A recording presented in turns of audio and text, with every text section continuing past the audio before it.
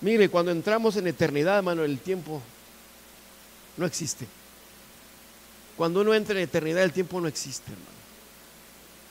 Así es que Dios nos ayude y que en esta hora solamente nos ponemos a, a la disposición de lo que el Espíritu Santo quiera hablar, hermano. No es uno el que habla, hermano, es Dios, hermano. Y si tú vienes al servicio este, buscando la presencia de Dios, vas a encontrar a Dios.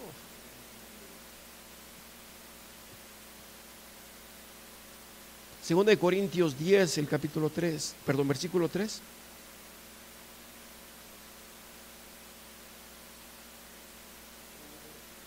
Bueno, vamos a ver desde el 1, hermano. Yo, Pablo, os ruego por la, por la mansedumbre y ternura de Cristo. Yo que estando presente ciertamente soy humilde entre vosotros, mas ausente soy osado para con vosotros. Ruego pues que cuando esté presente, no tenga que usar de aquella osadía con que estoy dispuesto a proceder resueltamente contra algunos que no tienen, que nos tienen como si anduviésemos según la carne. Pues aunque andamos en la carne, no militamos según la carne, porque las armas de nuestra milicia no son carnales, sino poderosas en Dios para la destrucción de fortalezas, derribando argumentos y toda altivez que se levanta contra el conocimiento de Dios y llevando cautivo todo pensamiento. ¿A dónde? A la obediencia de Cristo. Hasta ahí, hermanos. Padre Santo, en esta hora, Señor, perdone a su siervo, límpienos, Señor, por medio de su sangre preciosa. Y permita, Señor, que en esta hora, Señor, esa sangre pueda fluir entre, entre su pueblo, Señor. Oh Padre, porque es el único lugar donde podemos tener compañerismo, Señor, bajo la sangre, Señor, de, que fue derramada en la cruz del Calvario, Señor, y está tan fresca para quitar toda condenación, Padre, para quitar en esta hora, Señor, todo aquello, Padre, que pueda impedir amarlos los unos a los otros, Padre. Concédalo todo en el nombre de su Hijo amado, el Señor Jesucristo. Amén, Señor. Toma en su lugar, hermanas y hermanos. Bueno, si tituláramos el mensajito en esta tarde o en esta mañana, las armas de nuestra milicia. Las armas de nuestra milicia. Hermanos, tenemos que estar conscientes que estamos en una batalla. Tenemos que estar ciertos de que estamos en un campo de guerra, hermano. El mundo te quiere jalar el diablo te quiere jalar. El infierno no quiere que te vayas con Cristo, hermano, hermana. No podemos estar en esta hora perezosos, hermana. Mas, sin embargo, hay muchos flojos en la iglesia. Hay mucha gente perezosa, hermano. Aunque no digan amén, yo sé que es cierto, hermanos. El profeta nos habla del caso de un agricultor. Te lo voy a leer, dice.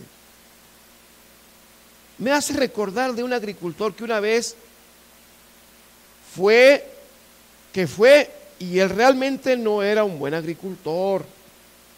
Él tenía muchos y grandes y buenos graneros y tractores, pero el tipo era muy perezoso para trabajar. Esos que les gusta llegar tarde todo el culto, todo el culto. Esos que no les gusta levantarse ni a orar, hermano. Hay gente que no le gusta ni leer la Biblia, hermano. Solamente se va con lo que el pastor le predica, hermano. Nuestros jóvenes de ahora, hermano, muy flojos, muy perezosos para las cosas de Dios. Pero para el internet y para el celular, hermano, qué tremendos. Una mano casi sin ver, hermano. Mandando mensajes. Y le dije, les dicen, saquen el libro, la escritura en el libro de Joel, hermano, andan buscando por acá en el Nuevo Testamento, hermano. ¿Cierto o no es cierto? Ay, Padre Santo. Ya cállese, hermano Roberto. Pues no me voy a callar porque la palabra viene para usted en esta hora, hermano. Viene para usted y también viene para mí, hermano. Viene para todos. La palabra viene cortando parejo, hermano. Usted puede pensar, hermano, es que tú estás allá detrás. No, hermano. A veces la palabra nos corta a nosotros también acá, hermano. Cuando el Espíritu Santo habla, hermano, él viene a tumbar todo, hermano. Tenemos que estar conscientes que estamos en una batalla, que estamos en guerra, hermano. No podemos estar flojos ni perezosos. El diablo ha aventado toda, todo lo que puede, hermano, para distraernos. El enemigo ha aventado todo lo que puede para sacarnos del camino, hermano. Ha, aventado, hermano, eh, eh, la carne asada, hermano. Qué chismosa es cuando están asando carne. usted dice, hay un vecino que está asando carne. O está asando pollo, dice. Es bien chismosa. Sí, hermano. Pues el diablo ha aventado todo lo que puede para, hermano, distraerte también en esta hora. Aventó toda la carne. Porque Él sabe que hay una novia que va a ser levantada. Él sabe que hay hijos en esta hora, hermano. ¿Sí? Mire, si el diablo lo hizo allá, hermano, en el jardín del Edén. ¿Sabe cuál era el propósito, hermano? De, hermano, de, de, chatear con, con Eva, hermano, un rato. Se puso a chatear con Eva, hermano. Es porque ellos, hermano, tenían el libro de la redención, hermano hermano, de los hijos prometidos, de los hijos que iban a venir, hermano. Y el diablo quería tener ese libro de la redención, hermano, y ver los nombres que estaban escritos. Y ahí estaba tu nombre, y estaba mi nombre, hermano, y estaban los nombres de cada uno de nosotros, hermano. Hermano, el diablo quería tener ese libro de la redención, por eso engañó a Eva, hermano. Pero nuestro Dios, hermano, no lo permitió, porque el mensajero dijo que el libro de la redención volvió a las manos del dueño original, a las manos de Dios, hermano, aleluya. Porque había un redentor que lo iba a rescatar, hermano, que nos iba a sacar de la casa de empeño, aleluya. El diablo quería ese libro de redención, hermano. El diablo quería ver los nombres que estaban escritos ahí. Tal vez para borrarlo. Yo no sé para qué, hermano. Tal vez para quitarlo. Tal vez para que no se manifestaran. Pero los hijos de Dios de todas maneras se tenían que manifestar, hermano. Y dijo el profeta, denominaciones, suéltenlo, porque de todas maneras ellos van a venir, porque estaban predestinados desde antes de la fundación del mundo, porque fueron escogidos, porque fueron llamados para manifestar la luz del día presente, hermanos, aleluya. Pero hay gente que está dormida en sus laureles, que se ha sentado en, en eso de la predestinación, hermano. Hermano, a veces hay, gente, hay, hay hijos abortivos, hermano. Vinieron, están en el vientre, pero no se alcanzaron a manifestar, hermano. Porque fueron abortados. Oh, hermano. Dios nos ayude cada día. Mire qué preciosa la palabra. Porque no andamos en la carne. No militamos según la carne cuando empieza el pleito en un, matrimonio, hermano, empiezan ahí, hermano, el esposo y la esposa. Quiero decirle una cosa, ¿sí? que ese es el diablo que está poniendo el pleito. Y muchas veces ni te das cuenta y tú le sigues la corriente. Cuando empieza la discusión, la pelea en pareja, hermanos, en lugar de ponerse a hermano, que tú, que yo, que eso, que el otro. Pónganse a orar mejor, hermano.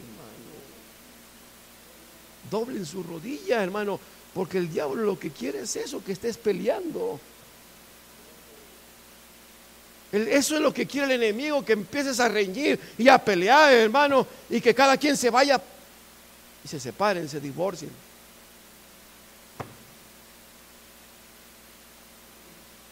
Hermano, yo le dije hace un momento, el enemigo ha aventado todo para tratar, hermano, de que estemos en pleito, en guerra, en lucha unos con otros. Pero Dios no nos llamó a eso. Dios nos llamó para amarnos los unos a los otros. Dios nos llamó, hermano, para estar humildes entre nosotros. Usted no crea que es más grande el que está aquí detrás de, detrás de esto, hermano. Usted es una hija de Dios, Él es un hijo de Dios, como el que está aquí es un hijo de Dios. Además, la palabra ministerio, ¿qué significa? Ministerio. ¿Qué es, hermano? El más pequeño. Hay alguien que debe de ser pequeño, es el hombre que está aquí detrás. Si Dios le ha dado un ministerio, no es para que te pongas arrogante, no es para que te pongas soberbio. Entonces, la palabra dijera que sería magisterio. Así le dicen a los maestros a magisterio. Pero en, las cosas de Dios, hermano, el que se baja es el que Dios levanta. El que se humilla es el que Dios exalta, hermano. Si un ministerio quiere ser grande, necesita empezarse por bajarse. Si dices, Dios me ha dado un ministerio y estás todo arrogante, estás todo soberbio, digo, ese no es ministerio, digo, ese es hombre magisterio. Pero la palabra no se equivoca, hermano. La palabra es exacta, hermano. No un 99, sino al 100%, hermano. Dios puso ministerios. Son hombres mansos, humildes, sencillos, que pueden bajarse que pueden humillarse. Oh, Dios nos ayude, hermano, cada día. No tenemos, no andamos, aunque andamos en la carne, dice, no militamos según la carne. Yo en días pasados estaba pensando, hermano, todo el infierno, todos los espíritus, todos los demonios, no los vamos a vencer en la carne, hermanos. No lo vamos a vencer con nuestra astucia. No lo vamos a vencer, hermano, con nuestra inteligencia. Lo vamos a vencer, hermano. Solamente hay uno que los puede vencer y es llenarnos del poder del Espíritu Santo, hermano. Solamente el Espíritu Santo puede derrotar, hermano. Puede poner a nuestros enemigos bajo la planta de nuestros pies, hermano. Llénese del poder de Dios, llénese del poder del Espíritu Santo, llénese del poder de la palabra, hermano. Llénese del poder de Dios, hermano. Y sus enemigos, hermano, estarán bajo las plantas de sus pies, hermano. Llámese brujería, llámese hechicería, llámese espiritismo, hermano. Yo no me importa lo que sea, llámese pecado, hermano. Si usted se llena del poder de Dios, sus enemigos estarán bajo las plantas de sus pies. Porque no es con espada, no es con ejército, no es con nuestra inteligencia, no es con nuestra astucia, nuestra astucia, sino con el poder de Dios, hermano, en esta hora. Es con el poder de su palabra que podemos vencer. Aunque andamos en la carne, no militamos según la carne. No militamos según nuestros pensamientos. No militamos según nuestras ideas, hermano. Militamos en el poder de Dios. Tenemos que estar conscientes de la batalla, hermano, en que estamos. Tenemos que estar conscientes de que estamos, hermano, en una guerra. Dijo el profeta, cuando la novia se dé cuenta quién realmente es, un ejército invencible. Fuimos llamados, hermano, eh, para ser gente invencible, hermanos. Y no por nuestra fuerza, sino porque el invencible vive dentro de nosotros, porque mayor es el que está en nosotros. El invencible es Él, hermano. El invencible es nuestro Dios, nuestro Señor Jesucristo, que ni aún el propio sepulcro lo pudo vencer, hermano. La propia muerte no lo pudo vencer, hermano. Esas lanzas que le hicieron no lo pudieron vencer porque Él se levantó al tercer día, dice la palabra. Aleluya. La muerte no lo pudo vencer. El sepulcro no lo pudo vencer, hermano. Ni lo más profundo, aunque bajó hasta el infierno, hermano bajó hasta lo más profundo a predicarles que Él era el Dios invencible, aleluya. Y ese Dios invencible, ¿dónde vive, hermano? ¿Dónde vive ahora en esta hora? ¿Vive en una grande catedral? ¿Vive allá donde está el Papa? ¿Vive allá, hermano, eh, eh, en una gran organización? No, hermano, el mayor es el que está en vosotros. Reconócelo en esta hora. Acéptalo, hermano, que Él quiere morar. Que tú eres el templo del Dios vivo en esta hora. Aleluya. Él es el templo del Dios invencible. Oh, hermano.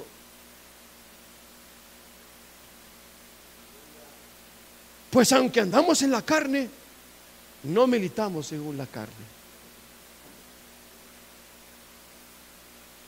Yo a veces me pongo a pensar, digo, qué tremendo la vida del cristiano. Porque en él moran las dos naturalezas.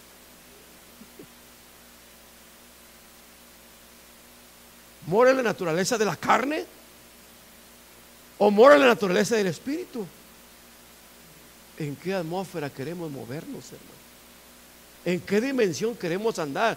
Podemos andar en la carne, hermano, y hacer las cosas de la carne. Y venir a la iglesia y levantar nuestras manos y adorar. O queremos andar en la atmósfera del Espíritu Santo, donde todo es paz, donde todo es gozo, donde todo es amor, donde todo es fe, donde todo es posible, donde, hermano, ángeles se mueven, el Espíritu Santo se mueve, hermano, la dimensión de Dios puede bajar o la dimensión o puedes andar en la dimensión del mundo. Por eso hay gente que dice, uy, eso que va a la iglesia, y eso que esto, y hermano, y eso que es aleluya, y que es alalaya, y que esto, hermano.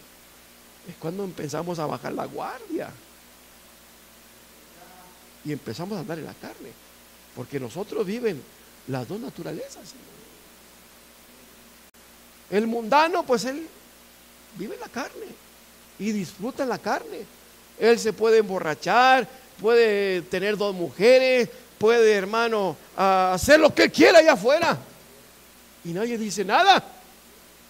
Pero un cristiano que viene a la iglesia, uy, hermano, tan solo cualquier cosita que se le salga, uy, eso que es cristiano.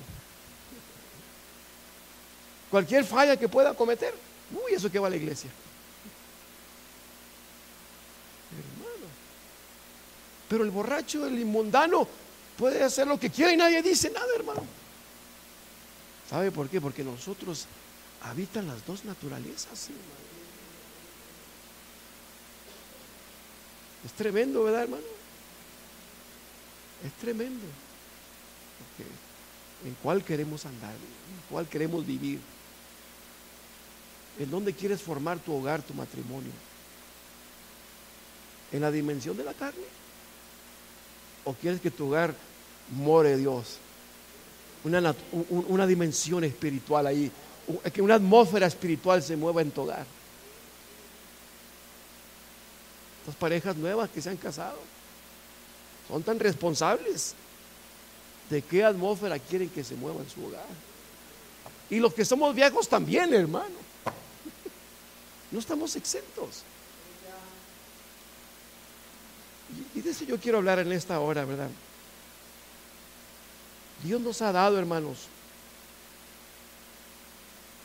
armas, armas, para que se mueva la atmósfera espiritual de nuestras vidas. Para, para mantenerte victorioso y vencedor, hermano. Dijo el profeta así, que si Dios nos hubiera dado una arma más grande, Él no lo hubiera dado Dice, pero el arma más grande que Dios nos dio fue su palabra. Fue la palabra, hermanos. El arma más poderosa que tenemos, pero muchas veces no echamos mano de esa arma, hermanos. Confiamos más en otras cosas, hermano, creemos más en otras cosas cuando deberíamos de estar creyendo, hermano, no al 99, sino al 100% cada palabra, cada promesa que Dios nos ha dado, hermano, cada cada bendición que está aquí, hermano, echemos mano de esta. Esta es un arma más poderosa. Esta es un arma más poderosa que tenemos. Decía el apóstol, no vine a vosotros con palabras de humana sabiduría, no vine con mi propia inteligencia, no vine este, este es un mensaje que traigo de los fariseos para, para ustedes, sino hermano, vengo con la demostración del poder de este evangelio, del poder de esta palabra. ¿Por qué, hermano? Porque esta palabra es Dios mismo, hermano, expresado en forma de letra. Aleluya. Esos son los pensamientos de Dios, hermano, expresados en letra. Dijo el ángel a Juan, escribe estas palabras porque son fieles y verdaderas. Escribe estas promesas para que las tengan mis hijos, que son fieles y verdaderas, que son más reales que este púlpito que estoy tocando, hermano. Aleluya. Porque este púlpito un día se acabará, pero su palabra permanece para siempre, hermanos. Este púlpito un día se pudrirá, hermano, pero esta palabra, hermano, no, hermano, no tiene caducidad, aleluya. Esta palabra no tiene caducidad, hermano. Usted agarra por allí, hermano, fecha de caducidad, el 15 de febrero del 2014. Pero usted agarra esta palabra y dice, Jesucristo es el mismo ayer y hoy por los siglos. Aleluya. No tiene caducidad, hermano. Eso me goza, hermano. Me da gozo. Toda la obra del hombre tiene caducidad. Por aquí la veo a lo mejor. Tiene una fecha de caducidad, hermano, esto. Usted agarra por ahí un alimento, hermano. Y lo primero que hace, va y compra un pan bimbo por ahí. Ya, está. ya no está bueno. va y compra por ahí una sopa y se va a vencer la caducidad. Va y compra, hermano, por ahí una bolsa de frijol y ya está lleno de gorgojos. está caducado. Pero usted agarra esta palabra, hermano. Usted puede agarrarla desde Génesis hasta Apocalipsis y no ha caducado, hermano. Ni una coma, ni una tilde, dijo el Señor. Ni un punto, hermano. Entonces, hermano, tenemos la palabra profética que más segura, hermano, sin fecha de caducidad. Dice el profeta, si allá pudo, si allá hace dos mil años pudo sanar a un hombre por fe, hoy mismo lo puede hacer también bajo las mismas condiciones de que lo hizo aquel, aleluya. El poder de Dios no ha cambiado, hermano. El poder de nuestro Dios sigue igual, hermano. Entonces las almas de nuestra milicia son tan poderosas, hermano. Si Pablo pudo vencer, tú también puedes vencer en esta hora, aleluya. Si Pedro pudo vencer hace dos mil años con esta palabra, yo quiero decirte que tú también puedes vencer en esta hora. Aleluya.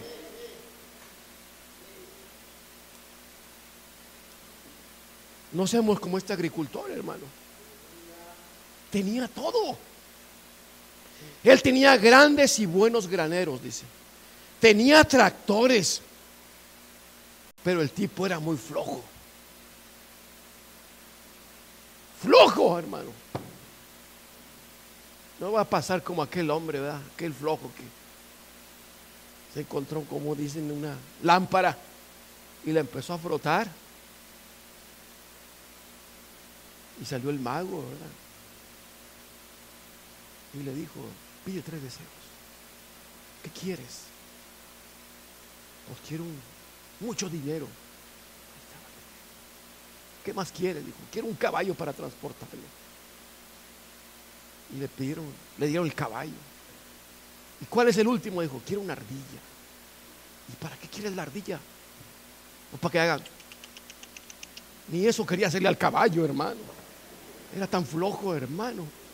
Ah, ¿Conoce las ardillas? ¿La que hacen así? Para que jalara el caballo, hermano. Hermano, Dios nos, les ha dado una bonita iglesia les ha dado un ministerio, les ha dado un mensaje, les ha dado la palabra, hermano. Pero a veces aún así hay gente floja, hermano. Que quieren que el predicador haga todo, hermano. Pero Dios te dio a ti las armas también, hermano. Dios también a ti te dio la carruchera, ¿cómo se llama esa cosa? Para que tú también le dispares al enemigo, hermano. Dios mío.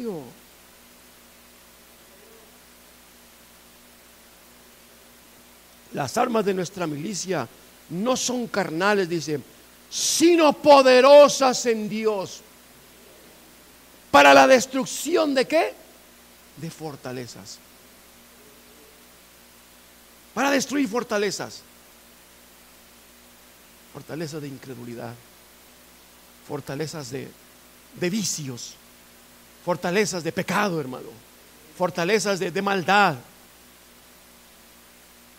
¿Qué, cosa no puede nuestro Dios destruir, hermano? Díganme. Hermano, si aquellas grandes murallas de Jericó, hermano, las pudo nuestro Dios tumbar, hermano. Y no, y no ocuparon bombas atómicas, hermano. Solamente con alabar el nombre del Señor Jesucristo. Solamente el pueblo le dio siete vueltas, hermano. Siete vueltas le, dio ese, ese, último día, si no mal recuerdo, hermano. A las murallas de Jericó le dio siete vueltas, hermano. Oh, hermano, si usted le está, hermano, tomando esta palabra, usted está tomando la escritura, hermano, y dándole vuelta y dándole vuelta a la palabra, hermano. Oh, hermano, tomando lo que dice aquí, hermano. Téngalo por seguro, hermano, que esa vieja naturaleza, ese viejo hombre se va a caer. Porque el problema es el viejo hombre, hermana. Ese es el problema. Es la fortaleza más grande que traemos, esta vieja naturaleza, hermano. Es la fortaleza más grande que, hermano, que, que, es la última en caer, hermano. A veces mora mucho orgullo ahí. A veces mora mucha vanidad todavía, hermano. Mora muchos robles ahí del hombre viejo todavía. De la herencia que me dejaron mis padres. Pero queremos la nueva herencia, hermano. La herencia incorruptible, dice la escritura. Que Él nos ha dado preciosísimas promesas para alcanzar una naturaleza incorruptible, una naturaleza divina, hermano. Derribando fortalezas. ¿Cómo lo vamos a hacer, hermano? Con esta palabra. Vamos a Efesios, el capítulo 5, hermano.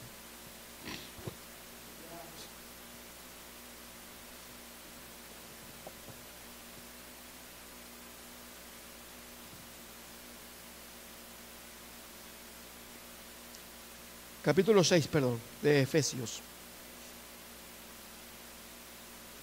¿Me aguantan tantito más, hermano? Bueno.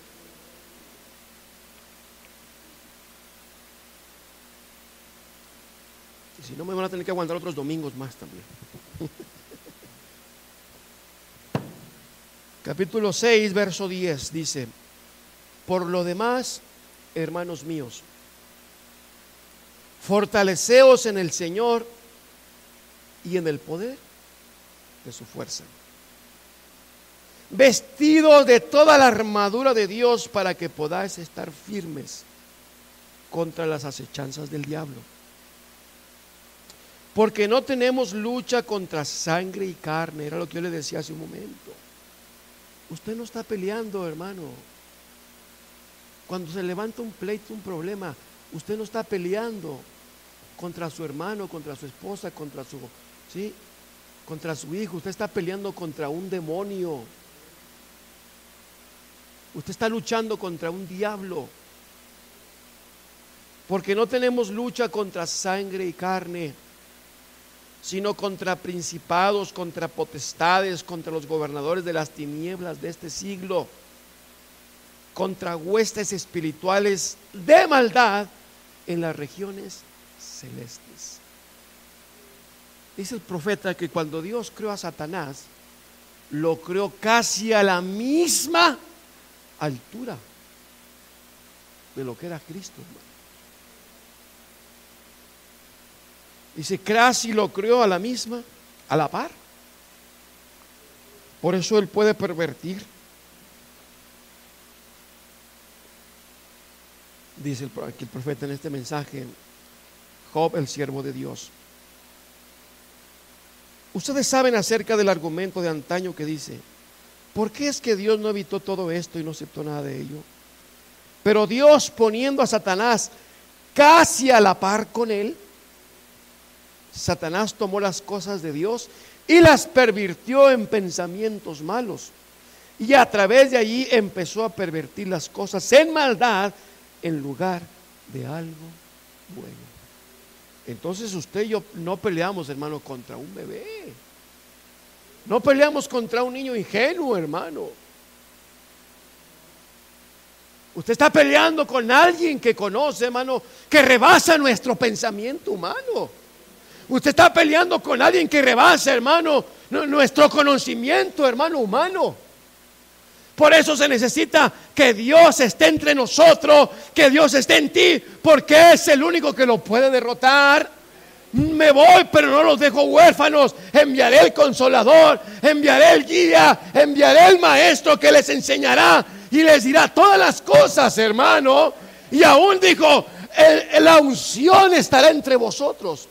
Porque la unción misma os enseñará lo que habréis que decir. Os enseñará, hermano, lo que habréis de decir, hermano. Entonces, necesitamos un ungimiento del Espíritu Santo, hermano. Necesitamos el ungimiento, que esta palabra, hermano, aún nos unja, hermano. Dice el profeta, lo único que podemos ser fundamentalistas. Pero necesitamos la revelación para saber el tiempo, la hora y el momento. Dios nos dio, hermano, una palabra que es un arma poderosa. Pero esta palabra tiene que ser ungida, hermano. Esta palabra tiene que ser ungida por el Espíritu Santo, hermano. Porque podemos ver la pura letra también, puro conocimiento, pura teología, hermano, pura filosofía. Esta palabra, sin hermano, sin el ungimiento del Espíritu Santo, se vuelve solamente conocimiento. Yo hace poco estaba platicando con un hombre que está estudiando, no me acuerdo qué ahorita, hermano. Y tenía su Biblia ahí, hermano. Y yo empecé a platicar con él. Estaba en una escuela, hermano, de teología. Y, estaba leyendo la Biblia, hermano. Y empezamos a platicar y empezó a decir maldiciones. Dije, Padre Santo. Puede tener mucho conocimiento, pero se necesita, se necesita el ungimiento del Dios, del Dios Santo, hermano, para que esta palabra, hermano, hermano, sea una realidad de nuestras vidas, hermano. Empezó a decir maldiciones, hermano. Estaba, yo mejor me callé y me fui, hermano. Mejor corté la plática y me fui, hermano. Podemos conocer la palabra intelectualmente, podemos estudiar intelectualmente, hermano, pero cuando esta palabra es ungida, hermano, oh, hermano, eso es diferente. Es un Dios santo, es un Dios poderoso, hermano, es un Dios, hermano, eh, eh, eh, hermano, tan santo, hermano, que no te permite, hermano, decir una majadería, hermano. Aleluya. Oh, Dios nos ayude, hermano. Entonces, no tenemos lucha contra sangre y carne, sino contra principados, contra espíritus de maldad. Dice el profeta, el, diablo, Satanás, fue creado casi a la par de Dios. Por eso, hermano, Él no es un niño, Él no es un bebé. Él nos rebasa por mucho, hermano. A un serpiente significa ser pensante, ser, ser que razona, ser que piensa. Por eso a Eva, hermano, a Eva la pudo engañar porque era, un ser pensante la serpiente. Y ahí fue donde vino Satanás, hermano. Y se posesionó ahí. Conocía el misterio de la vida. Conocía las profundidades de la vida. Hermano, ¿usted cree que el diablo no conoce en esta hora? Por tanto, tomad toda la armadura de Dios, dice, toda hermanos, toda la armadura, para que podáis resistir en el día malo. ¿Cuál es el día malo, hermano? ¿Será mañana? Hoy. Es la edad más engañosa, es el tiempo más peligroso, es el tiempo, hermano, sí, más donde, hermano, la maldad se manifestaría, hermano, en toda su plenitud. Este es el día malo. Ninguna de las edades vivió, hermano, lo que tú y yo estamos viviendo en esta hora. Ellos fueron perseguidos, fueron aserrados, hermano, pero la edad de hipocresía, de engaño, de, apariencia, la edad de la manifestación de Janes y Jambres, hermano, este sería el día. en que estaría Janes y Jambres, hermano, en que lo que hizo Moisés también lo hizo Janes y Jambres. En que cuando Moisés aventó la vara, ellos también aventaron la suya y también se convirtió en serpiente. Una apariencia tremenda. hermano.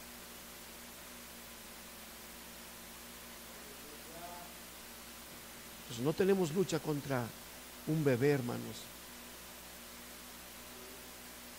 Tomad toda la armadura de Dios para que podáis resistir en el día malo y habiendo acabado todo, estar firmes. Estad pues firmes, ceñidos vuestros lomos con la verdad. Ceñidos vuestros lomos con la verdad, hermanos. Dios envió un mensaje. Dios envió la revelación de los sellos de la palabra en esta hora, hermano, para que tú y yo no seamos engañados por el espíritu de error que se levantaría en esta edad, hermano. El espíritu de mentira que se levantaría en esta edad. Ceñidos con la verdad. Dijo el profeta cuando él iba a predicar los sellos, dice, aún yo mismo estaba tomando de lo que habían, de lo que habían dicho otros predicadores. Dice, si no es porque entre el Espíritu Santo como a las 12 del mediodía, dice, y me corrige todo lo que yo iba a predicar, dice. Hermano, pues, tenemos un mensaje, hermano, que vino a descubrir toda la mentira, hermanos.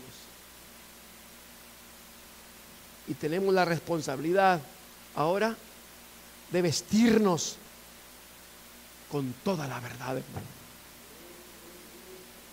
Oh, tenemos la palabra. Una de las armas de nuestra milicia es la palabra, hermanos. Otra arma de nuestra milicia es la oración, hermanos. Es la oración, hermano. Un pueblo que ora, un creyente que ora, ¿sí? Es un creyente fortalecido en el Señor, hermanos. Es un creyente que está fuerte, una iglesia que ora, hermanos. Es una iglesia que está fuerte en Cristo, hermanos. Es una iglesia que no se cree cualquier chisme. Es un creyente que no se cree cualquier cosa, hermano, que se levanta. Es otra de las armas que tenemos. Orar sin cesar, dice la escritura. Orad sin parar, sin detenernos, hermanos. La oración, hermanos, es otra arma de nuestra milicia. Pero a veces a los cultos de oración es donde menos viene la gente, hermanos. ¿Y sabe usted que es un termómetro para medir la espiritualidad de los creyentes? Sí, hermano. Los domingos la iglesia siempre está llena, hermano. Todas las iglesias. Pero usted vaya el día del culto de oración, hermano, y vea. Si esa iglesia está llena, dice, esta iglesia es espiritual. Si esa iglesia viene en tres, cuatro, cinco, dice, aquí algo está fallando. Es un parámetro, la oración es un parámetro, hermano, que marca el nivel de espiritualidad que hay en la iglesia, que hay en el creyente, que hay entre los miembros de ese lugar. Y es un arma tan poderosa, hermano. Orando, dice la palabra, con toda súplica. Hermano, ¿cómo vencemos a nuestro enemigo? Orando y leyendo su palabra, hermano. Orando y tomando las promesas de Dios. Orando, hermano, y tomando cada bendición que Dios nos ha dado, quiere tener un hogar fuerte, ore y lea su palabra. Quiere tener una vida espiritual fuerte, ore y lea su palabra, hermanos. Porque es un arma poderosa que tenemos.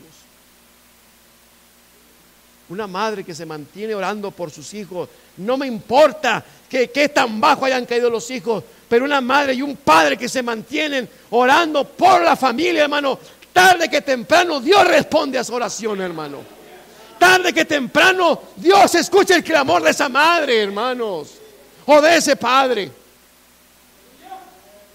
No me importa qué tan bajo haya caído ese hijo. se ha caído en las drogas, se ha caído, hermano, en un cartel. Yo no me importa dónde, pero si hay una madre suplicando con todo ruego, con toda oración, hermano, y no, y no se para, y no, y, no, y no se cansa, hermano, téngalo por segura que ese Dios un día responderá a ese clamor, un día escuchará esa oración, porque, hermano, nuestras oraciones llegan a la presencia de Dios.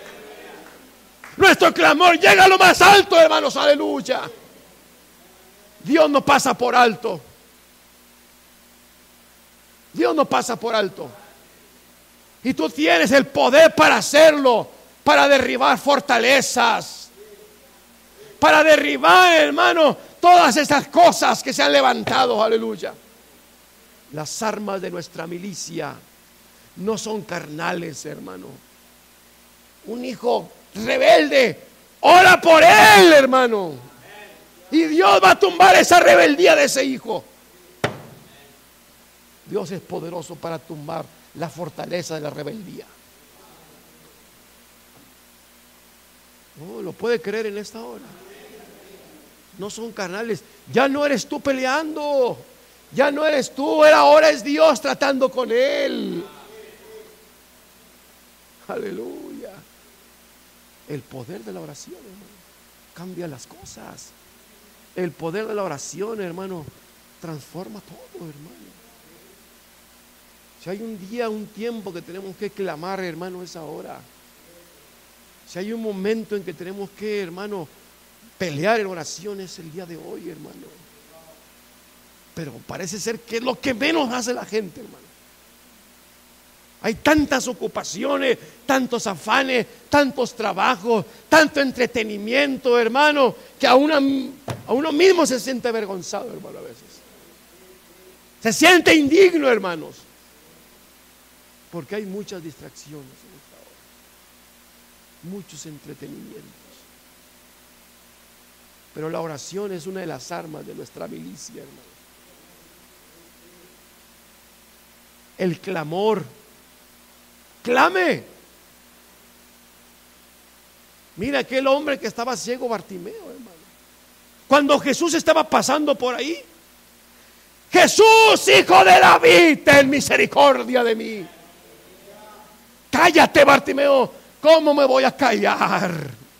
¿Cómo me voy a callar? Dijo, si yo tengo una necesidad, si yo tengo una petición en mi corazón, Cállate, Bartimeo, no me voy a callar. Jesús, hijo de David, ten misericordia de mí.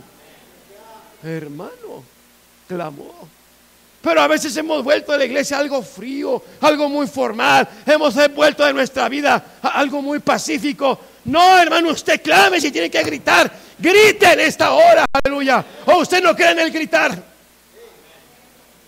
Usted no cree que a veces tenga que expresar, hermano, desde adentro, aleluya. Señor, ayúdame, Señor. Mi hijo anda perdido, Señor. Mi hija está extraviada, Señor. Yo mismo me siento en esta hora indigno. Nunca lo ha hecho, hermano, así. El profeta iba y lo hacía, hermano, a veces allá en el monte. Y se ponía a darle vuelta a los árboles y gritando. El clamor, hermano. Él tenía una necesidad. Bartimeo. Estaba ciego, ¿no? Y empezó a gritar. Jesús, hijo de David. Y aunque no era el tiempo todavía, porque el hijo de David es en el milenio. Pero él clamó, clamó, clamó hasta que hizo llamar la atención. ¿Qué es lo que quieres? Recibir mi vista. Quiero recibir mi vista. Hermano, y el Señor obró. Decía el salmista, a ti clamé y me sanaste, Señor.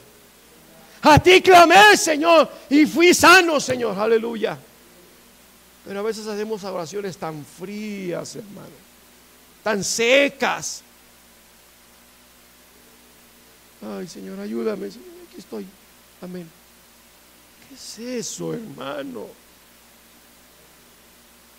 Oraciones tan secas, hermano. No, clame. Clame y dígale, Señor, aquí estoy. tengo este dolor, tengo este síntoma, tengo esta molestia. Aquí está mi hijo, aquí está mi hija, aquí está mi padre. Yo no sé qué, por qué tenga que clamar. Pero grite, hermano, clame como lo hizo Martimeo. Dígale al Señor. No se quede callado. A Dios le gusta que le pida, hermano. Porque le gusta dar, hermano. Es un Dios que le gusta dar, hermano. Pero ¿a quién? Al que toca, ¿qué dice? Se le abre. Y al que pide, se le da, hermano. Pero a veces no, no, nos gusta pedir, hermano. No nos gusta clamar. No nos gusta orar, hermano. Queremos que todo nos llegue facilito. Perezosos, flojos. Gente indiferente, hermano. Pero recuerde, las armas de nuestra milicia no son carnales. No eres tú el que peleas, es Dios quien va a pelear por ti. Es el Espíritu Santo que va a pelear por ti.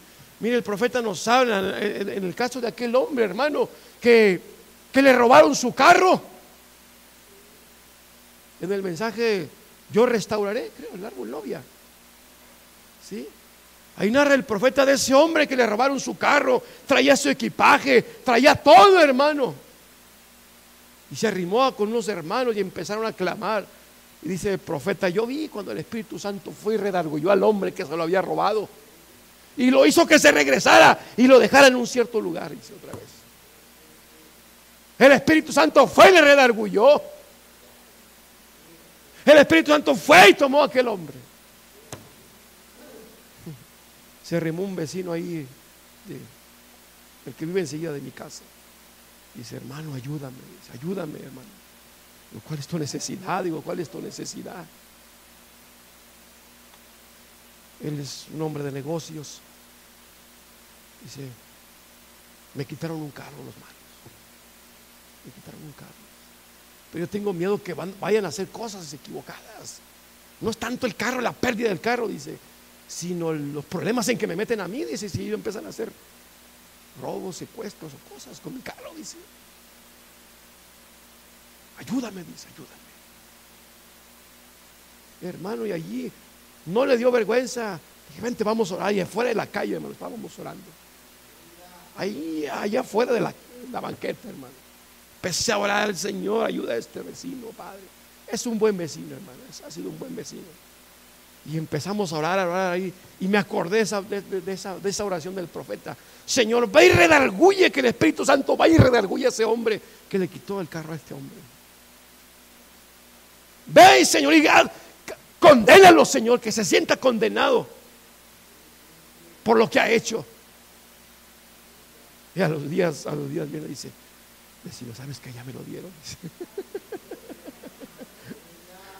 Estoy muy contento, dice, porque ya me lo, ya me lo regresaron. Duró como un mes, yo creo, la gente esa con su carro. según esto se lo fueron a rentar porque tenía unos muebles en renta él, pero no, no era el propósito, la verdad. Fueron decir otras cosas. Y al último ni la renta le pagaron, creo lo que quería era recuperar el carro. Pero yo me acordé de esa, de esa, oración del profeta. El hombre que el Espíritu Santo fue, redarguyera, condenara. Y, y sí, a los días vino y me dijo, ¿sabes qué? Ya me lo regresaron. Ya me lo regresaron. Te agradezco tu oración. Hermano, el, el clamor. Clame. El clamor, hermano, a veces tenemos que gritar. Gritar. Si es necesario gritar como lo hizo Bartimeo, hágalo. Que no le dé vergüenza. Hermano, la iglesia es un hospital. Aquí viene porque usted está enfermo, porque usted tiene una necesidad. Usted viene porque aquí hay un Dios que sabe usted, hermano, que es un Dios vivo que puede responder a tu clamor. Que usted aquí, hermano, usted se va a abastecer de lo que usted tiene necesidad. ¿Qué dice? Los sanos no tienen necesidad de doctor, de médico. No tienen necesidad de medicina. O alguno de ustedes anda tomando, ah, me voy a tomar esta medicina porque estoy bien sano. Ah, pásame el agua. ¿Verdad que no toma medicina cuando está sano? Ni anda consultando el seguro, hay cinco horas perdidas. Estoy bien sano, déjame ir a consultar a ver, a ver qué me dice mi doctora. No hace eso, hermano. Cuando usted viene aquí es porque usted tiene una necesidad. ¿Y cuál es su mayor necesidad? Que tiene necesidad del Dios vivo. que tiene necesidad de esta palabra. Que tiene necesidad de, de una palabra que pueda llevarse en su corazón, Señor. Voy a atesorar este pequeño pensamiento que dijo el predicador y me lo voy a llevar a mi casa, Señor. Como me dijo el hermano, yo tomé lo que el hermano Roberto dijo, que tenía que empezar por el altar si quiere una esposa. Dije, Padre Santo. Cuando el hermano dijo, hermano José, ¿cómo te llamas José? Dijo, yo tomé lo que dijo el hermano, yo empecé por el altar porque yo quería una esposa. Bueno, y Dios se la dio a la hermana Carlita. Pero él se llevó eso en su corazón. Él se lo llevó. Cada vez que usted viene a la iglesia, si no se puede llevar todo el mensaje, llévese una, una promesa que Dios le haya dado, hermano. Y diga, rumela, rumela, Señor, el predicador dijo esto, la palabra dijo esto ahora, el Espíritu Santo me habló a mi corazón, Señor, porque el Espíritu Santo, hermano, discierne las intenciones y los pensamientos del corazón hasta lo más profundo, hermano. Porque Él sabe que tenemos necesidad de ese Dios vivo. Oh, Dios nos ayude, hermano. El clamor es una de las armas de nuestra milicia. Recuerden, no es con espada, no es con ejército. Otra arma de nuestras milicias, hermano, ¿sabe cuál es? El arrepentimiento. Nadie de nosotros está exento de cometer, hermano, un error, un pecado, una, equivocación en el camino, hermano. Nadie de nosotros está exento ni desde el que predica hasta los que se sientan, hermano. ninguno de nosotros está exento, pero tenemos un arma, hermanos, y es el arma del arrepentimiento. Un corazón contrito y humillado, Dios no lo, no lo rechaza, hermano. Dios no lo desprecia. No podemos quitar el arrepentimiento de la iglesia, hermano.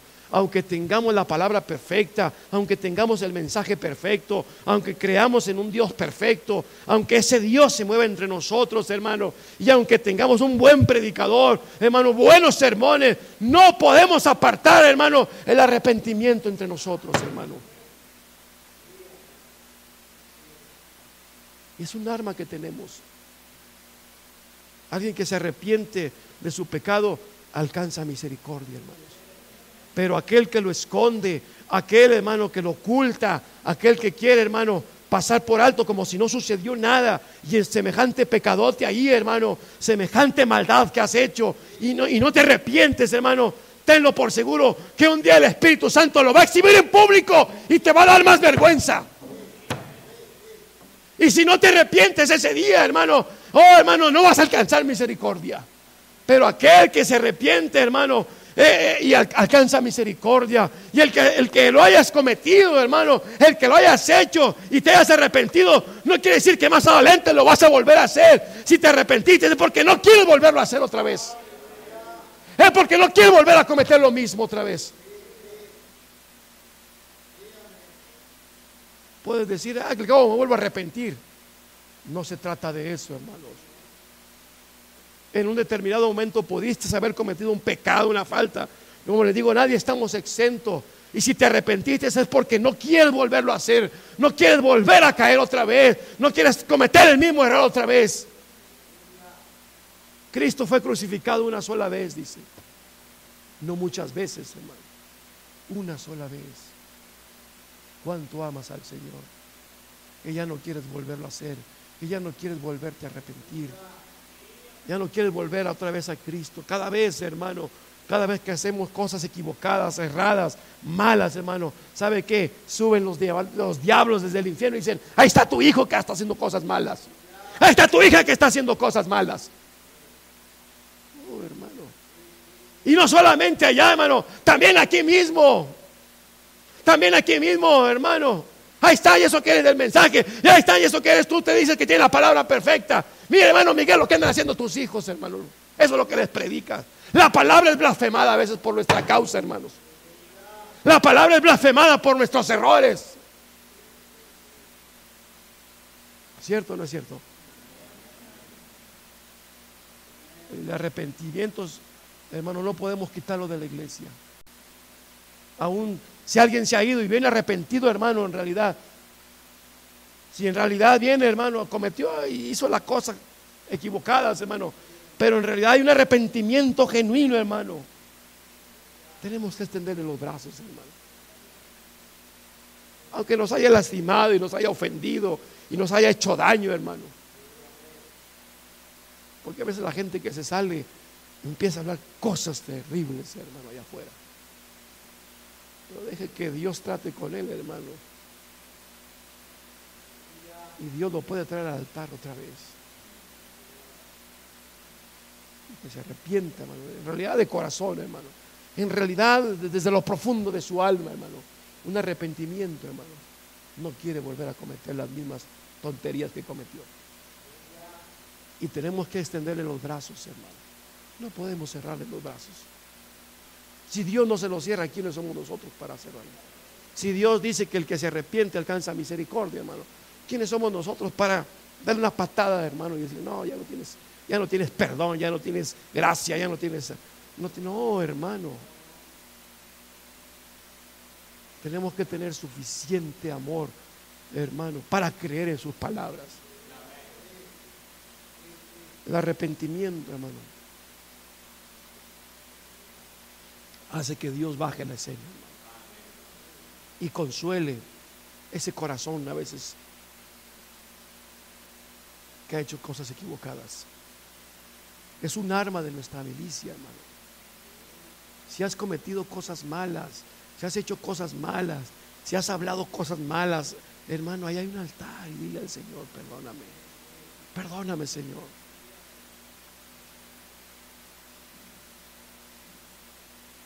Sed pues vosotros perfectos.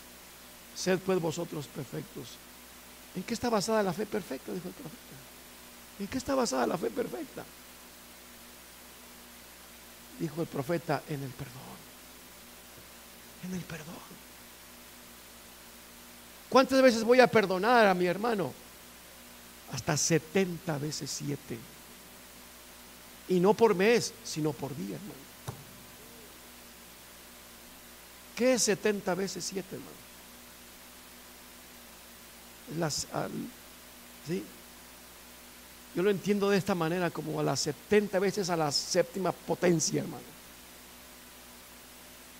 70 veces 7. 7 por 7, 49, 49 por 7, un chorro y 49 por un montón y un montón por una tonelada, hermanos, de números. sí, hermano. 7 por 7 son 49, hermano. Esa es la primera potencia, hermano. 70 veces 7, hermano, imagínense. 70 por 70 por 70 por 70 por 70 por 70 por 70. Padre mío. Es un guion de números. El guion es el número más grande lo que existe. El guion que le nombran. La numeración más grande que existe. Acuérdense que hay décimo, centésimo, milésimo, y luego diez milésimos, cien milésimo, millonésimo, y luego diez millonésimo, y luego la millonésima, el guion que le nombra. Oh, hermano, hasta esas veces. Pues, alguien que, hermano, alguien que se arrepiente, hermano. Una iglesia que se arrepiente. Mire, hermano, el caso, el caso de Nínive, hermano. Dios había decretado ya destruirlos, hermano pero les dio una oportunidad todavía. Ve Jonás y predícales. Ve y háblales mi palabra, que si no se arrepienten, juicio vendrá sobre ellos. Hermano, estaban haciendo cosas malas. Malas, hermano, que la presencia de Dios, hermano, dijo Dios, los voy a destruir. Pero antes del juicio Dios envía misericordia y mandó a su siervo Jonás. Y se arrepintieron. Y Dios decidió perdonarlos por otros 100 años. Porque después vemos al, creo que el profeta Oseas, 100 años después de Jonás, vino y le predicó otra vez a Nínime, pero ya no, los no, no se arrepintieron y los destruyó. Creo que fue el profeta Oseas, no recuerdo, uno de los por ahí. Amós, Abdías Oseas fueron los que fueron a predicar otra vez a Nínive. 100 años, más o menos como 100 años después de lo que hizo Jonás. En el tiempo de Jonás sí se arrepintieron, pero ya en el tiempo de este profeta no se arrepintieron, hermano. Y Dios envió juicio sobre ellos. Por eso les digo, el arrepentimiento, hermano, es un arma tan poderosa, hermano, que aunque Dios haya decretado juicio, pero cuando hay un corazón que se arrepiente de lo profundo de su corazón, hermano Dios hace el juicio a un lado y te mira a través de la sangre y dice, ah, mi hijo se ha perdonado. Mi hijo se ha arrepentido. Mi hija se ha arrepentido. Y Dios, el juicio es, echado a un lado, hermanos. Cuando aquel rey, Usías, creo que era, ¿no? ¿Sí? Ezequías, ¿verdad? Dios había decretado juicio y envió a uno de sus siervos también. Y Dios le dio otra oportunidad, hermano, también. Por eso, hermano, yo creo, yo creo en el arrepentimiento todavía, hermano. Que es un arma poderosa que tenemos. Que es un arma, hermano, de nuestra milicia, pero a veces, hermano, no echamos mano de esa arma que tenemos. No echamos mano de esa arma. Y dijo el profeta, el arma más poderosa, con esto voy a cerrar, hermano, no me voy a extender mucho, el arma más poderosa que tenemos es el amor. Dijo, mire, por amor, esas avispas se ausentaron. Ese toro furioso que ya había matado a alguien, se doblegó. Dice, el arma más poderosa que tenemos es el amor. Cuando nos amamos los unos a los otros, hermano. Cuando en realidad nos amamos, hermano. Y, no con un amor fingido, hermano. No con un amor ahí, hermano. Solamente, hermano, con apariencia. El segundo mandamiento, ¿cuál es? Es semejante al primero. ¿Y cómo, vas, cómo es el primer mandamiento? Amarás a tu Dios con todas tus fuerzas, con toda tu mente, con todo tu corazón. ¿Sí? Así le debemos de amar a Dios, hermano. Dice, y el segundo es semejante al primero. Entonces, ¿cómo vas a amar a tu hermano? Con todas tus fuerzas, con toda tu mente y con todo tu corazón. Sí, hermano. A veces hemos proyectado un amor solamente muy superficial. Hemos proyectado un amor, hermano, muy fingido solamente.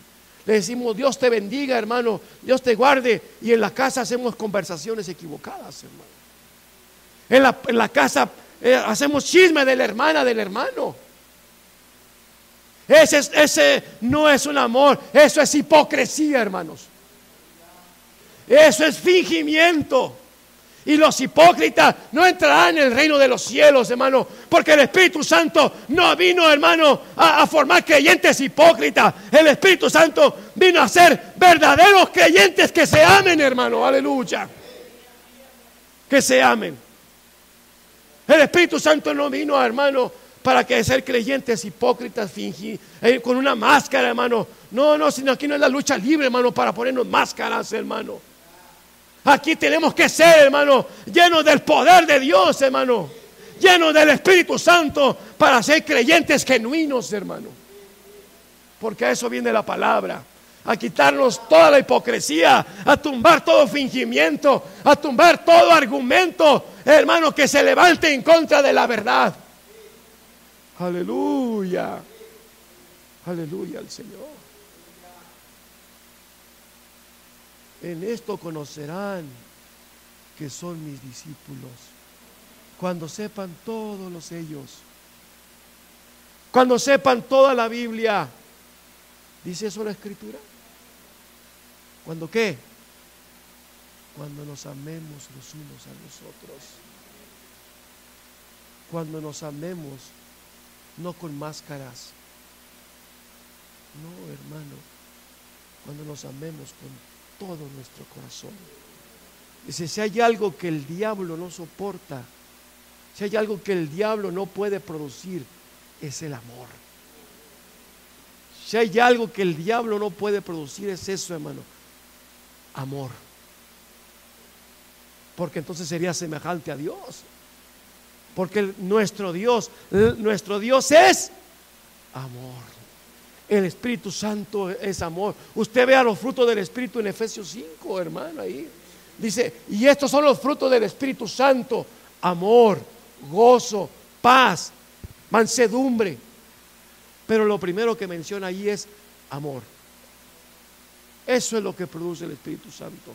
Ese es el arma poderosa que tenemos, hermano. Ese es el arma que, que tenemos, hermano. No es, hermano, esa no, el amor no es hermano, un arma carnal, hermano. Este es un amor ágape, es un amor, perdón, es un amor ágape, sí, hermano.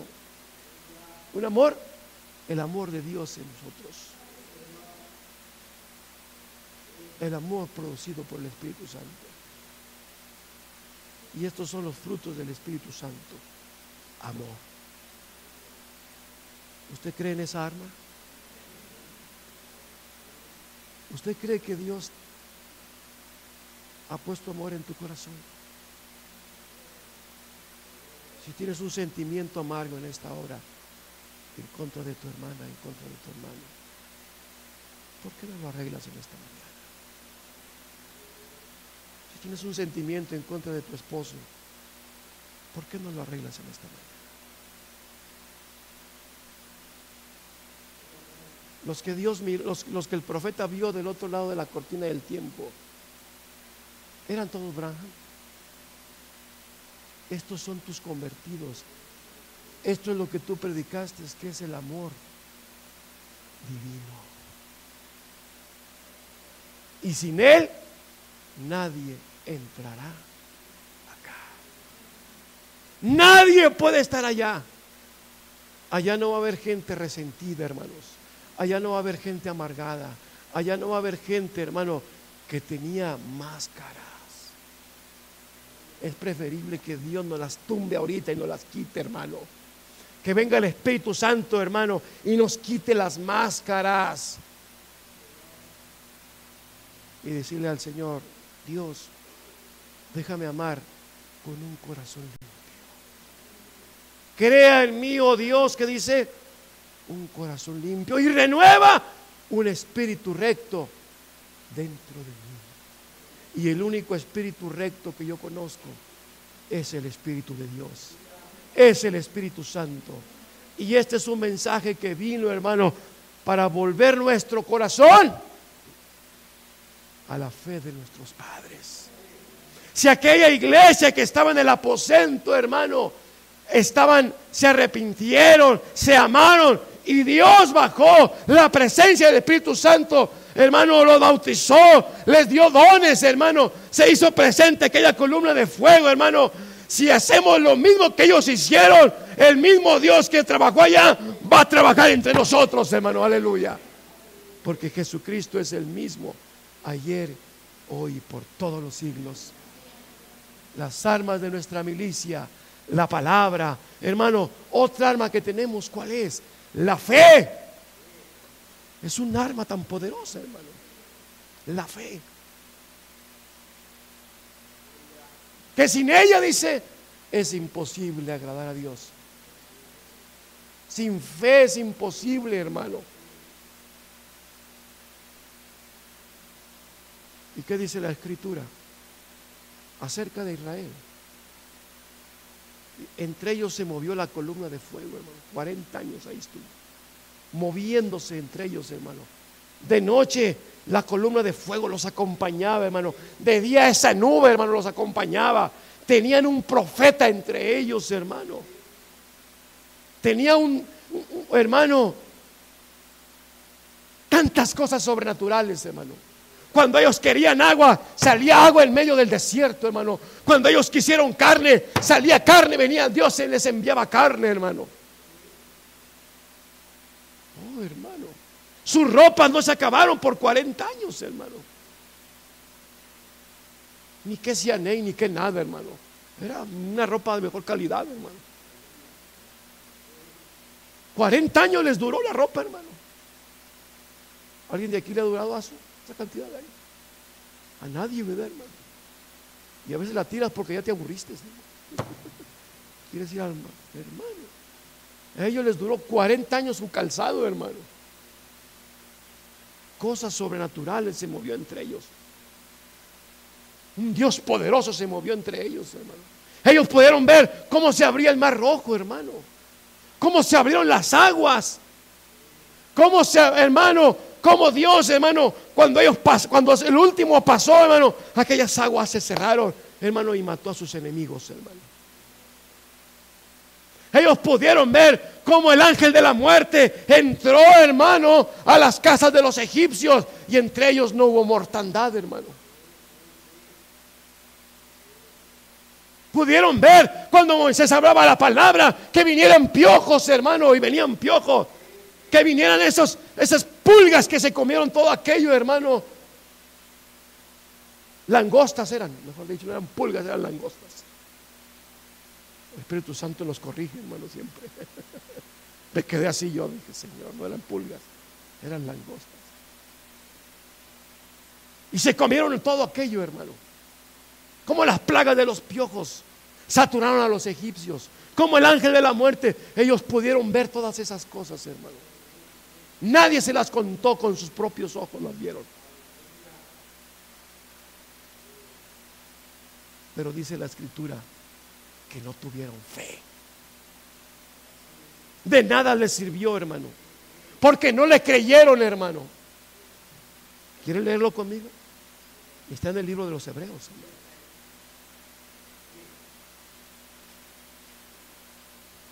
Tuvieron un profeta entre ellos, hermano. Como lo tuvo esta generación, hermano. Tuvieron un profeta también entre ellos. Pero no creyeron, hermano. No creyeron en ese hombre que está ahí. Todos esos grandes líderes que vivieron entre ellos, unos se desviaron a un lado, otros se desviaron para otro, otro, hermano.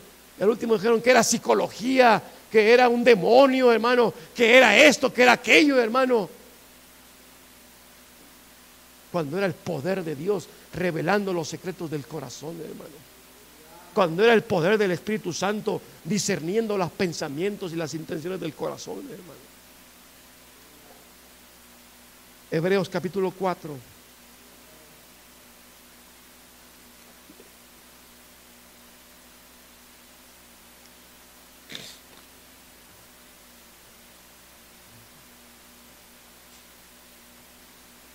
Vamos a leer desde el, desde el capítulo 3 del verso 14. Perdón, verso 16. ¿Quiénes fueron los que habiendo oído le provocaron? ¿No fueron todos los que salieron de Egipto por mano de Moisés? ¿Y con quién estuvo él disgustado 40 años? ¿No fue con los que pecaron, cuyos cuerpos cayeron en el desierto? ¿Y a quienes juró que no entrarían en su reposo? sino a aquellos que desobedecieron. Y vemos que no pudieron entrar a causa de qué? De su incredulidad.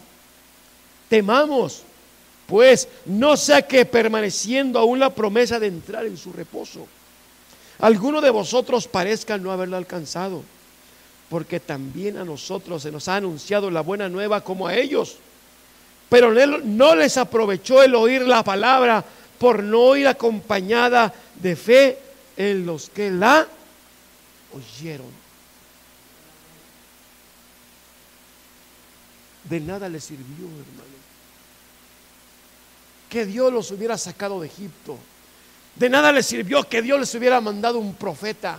De nada les sirvió que hubieran visto que el mar rojo se abrió y se cerró. Y como el Jordán, hermano, Perdón, y cómo el mar rojo se abrió, hermano. Y cómo Dios volvió a cerrar, hermano, aquellas, aquellas aguas. Y echó a esos enemigos por, hermano, los mató Dios mismo. Como la columna de fuego se puso ahí entre Israel y Egipto y los ejércitos de, de Faraón, hermano. No les aprovechó nada eso, hermano. Porque no creyeron.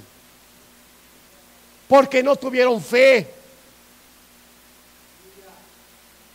De nada nos va a servir tener 30 o 40 años en el mensaje, hermano, si no crees esta palabra. Si cuando viene la prueba tienes miedo. Si cuando viene, hermano, la, la necesidad, no clamas. De nada te sirve. te rinconas ahí y no crees a Dios. Dios saca la espada en esta hora. Como lo hizo Josué cuando se apareció aquel ángel. ¿De quién eres? ¿De los nuestros o de los contrarios? No, soy el ángel que viene del Dios Altísimo. Mire, hermano, fue una generación diferente la de Josué.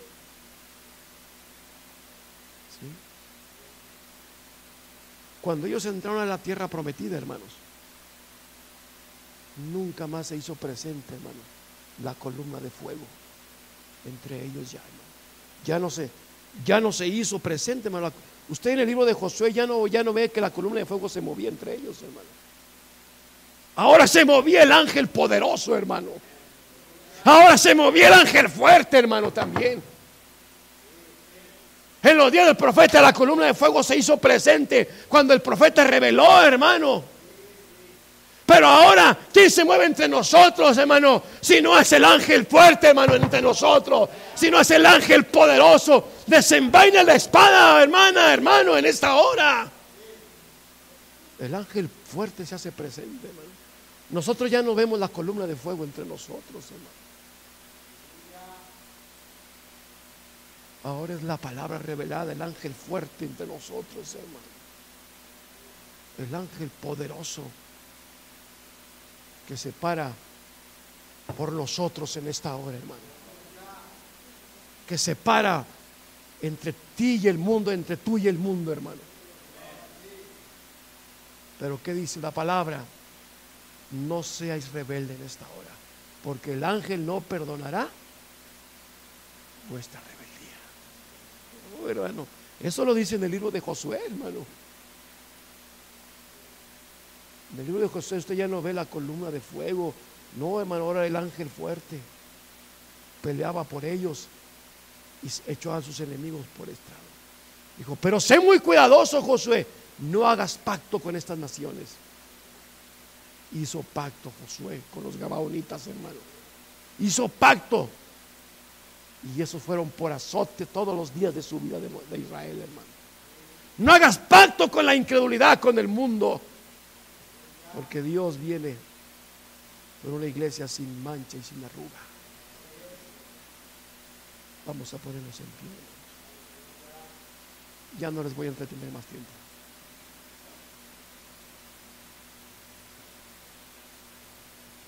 Oh, hermano, las armas de nuestra milicia